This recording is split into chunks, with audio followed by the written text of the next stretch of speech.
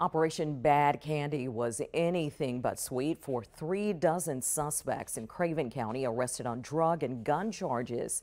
Craven County Sheriff Chip Hughes and District Attorney Scott Thomas held a news conference today to thank the community for their help in the arrests. Sheriff Hughes says those 36 people face a number of felony offenses for heroin, cocaine, fentanyl, methamphetamine, LSD, and illegal gun possession. Hughes also sent out a message to other criminals. Is that those people, once again, that think it's okay to sell these dangerous narcotics into our neighborhoods need to understand that we're not going to tolerate it in Craven County. And I want them wondering if they're going to be next.